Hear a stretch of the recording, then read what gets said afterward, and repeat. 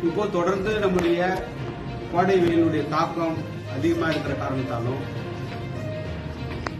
பல்வேறு தேர்வுகள் நடத்த எதிர்காலத்தில் நடக்க இருக்கிறதாலும் உதாரணத்துக்கு பார்த்தீங்கன்னா காவலர் தேர்வு எல்டிசி முடிசி தேர்வு இதெல்லாம் நடக்க இருக்கிற காரணத்தாலும் கோடை வெயில் அதிகமாக இருக்கிற காரணத்தாலும் இதெல்லாம் கருத்தில் கொண்டு இந்த தேர்வுகளை ஒன்றாவது முதல் ஒன்பதாம் வகுப்பு வரை நடத்த இருக்கின்ற அந்த முழாண்டு தேர்வை முன்கூட்டியே நடத்துவதென்று மாண்புமிகு முதலமைச்சரோடு ஆலோசித்து முதலமைச்சருடைய ஒப்புதலோடு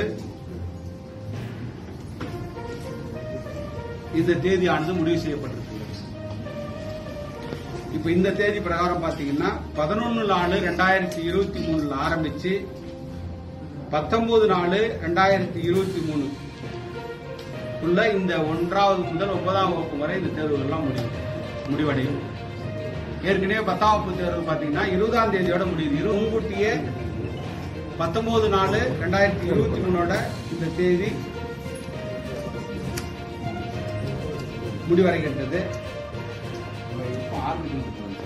ஆரம்பிக்கும் பதினொன்று நாலு ரெண்டாயிரத்தி இருபத்தி மூணுல ஆரம்பிக்கும்.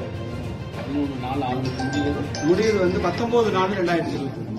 ஏற்கனவே பிளானிங் ஏற்கனவே பிளானிங் பார்த்தீங்கன்னா இருபத்தி நாலு இருபத்தி நாலு நாலு ரெண்டாயிரத்தி இருபத்தி மூணுல ஆரம்பிச்சு இருபத்தி எட்டு நாலு ரெண்டாயிரத்தி இருபத்தி மூணுல முடிக்கிறதா ஏற்கனவே பிளான் பண்ணோம்.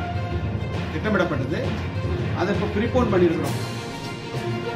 நம்ம முன்னாடி வந்து ப்ரிபோன் பண்ணியிருக்கோம் அவங்களுக்கு வந்து கோடை விடுமுறை வந்து பார்த்தீங்கன்னா தேர்வு முடிஞ்ச நாள்ல இருந்து முப்பத்தொன்னு அஞ்சு ரெண்டாயிரத்தி இருபத்தி மூணு வரைக்கும் அவங்களுக்கு லீவு ஒன்று ஆறு ரெண்டாயிரத்தி இருபத்தி மூணுலேருந்து அவங்க திரும்ப பள்ளிக்கூடத்துக்கு பள்ளிக்கூடம் ஆரம்பிக்கும்.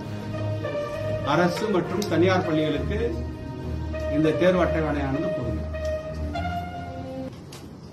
மேலும் பல தகவல்களை தெரிந்து கொள்ள நமது பக்கத்தில் இணைந்திருக்கவும். நன்றி.